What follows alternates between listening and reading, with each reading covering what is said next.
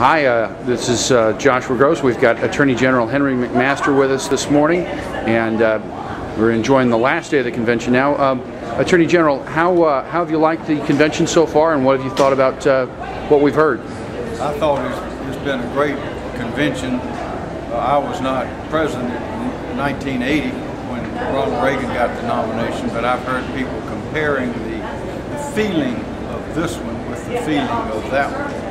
I've been to a lot of them, and this is very exciting. The speakers have been terrific. The message has been superb. The candidates are wonderful. We've got a great team, and it, it makes it gives me great hope and comfort to know that there are people like these from all over the country willing up, willing to stand up and come forward and do this work. And so it's quite a comforting feeling for the future, for my children, for their children, to know that we're still producing this kind of quality, quality leadership.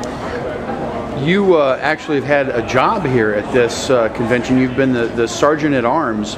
What uh, what did that entail, and how did that come about? Well, like all jobs in politics, they, they're all volunteer jobs. And uh, the chairman of the party, Mike Duncan, asked me to be sergeant at arms. And sergeant at arms is technically under the House rules, U.S. House Representative rules. We by with John Boehner as the presiding officer. I'm sergeant at and my job is to, with a lot of help uh, and a network of people out there, is to keep order, to keep people comfortable so the proceedings can proceed in an orderly fashion.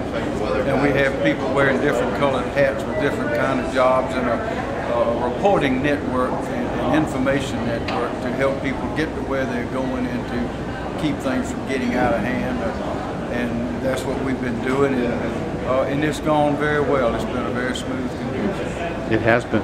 Um, talk to us about what being a conservative Republican means to you. How does that play out in the way, in the job that you do as Attorney General for uh, for South Carolina? Well, the, the Republican Party today is the conservative party, clearly, in this country. Being a, a conservative is, is based on a number of principles, and the center of it is, is the individual. It's not the government. We believe it's the individual where the promise and opportunity lies. The government has certain things that it, that it and only it can do. We need to band together to perform certain functions like keeping the country safe, keeping the country clean.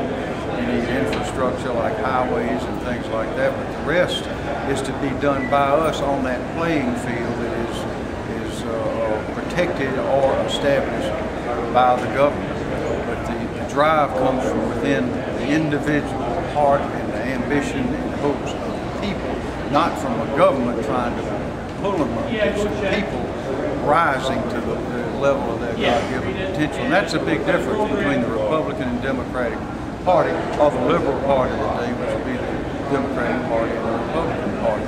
The, if you watch the debates and watch the speeches uh, all the way through the Democratic convention and all the way through the Democratic primaries, at every every opportunity somebody was asking for something.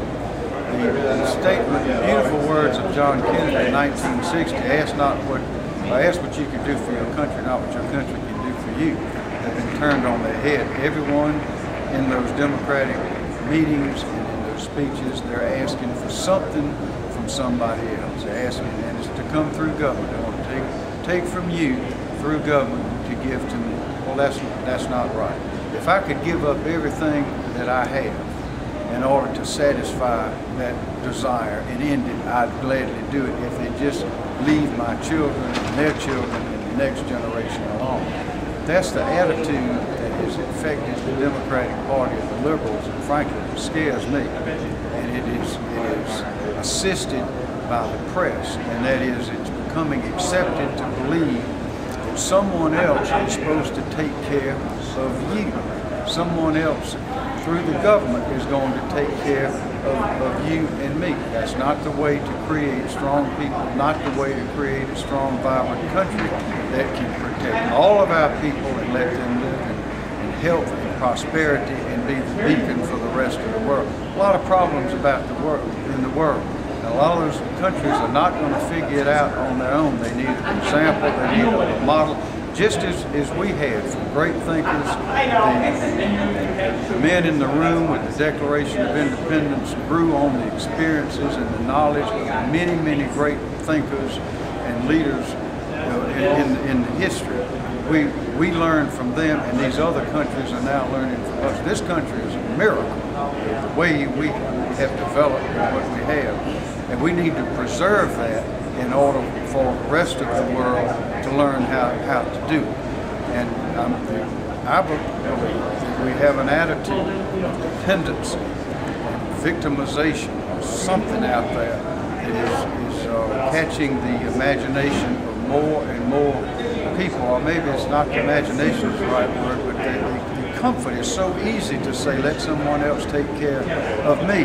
And it's becoming a legitimate cry, legitimate thought as we get more and more into an entitlement society. The more we go down that road, the weaker the country becomes because the people themselves become weaker and weaker. They don't depend on themselves they depend on someone.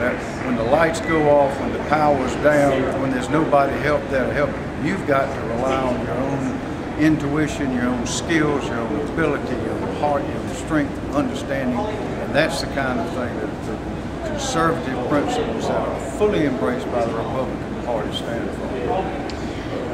I would be remiss if I let you go without one more note, and that is that the state newspaper basically said you're one of the three considered frontrunners for the 2010 Republican nomination for governor of South Carolina.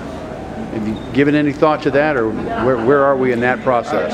I've given a lot of serious thought to it, uh, and it, it, it is a great honor to, to be a representative in any way of the state of South Carolina. I think it's the finest place with the finest people in the whole world.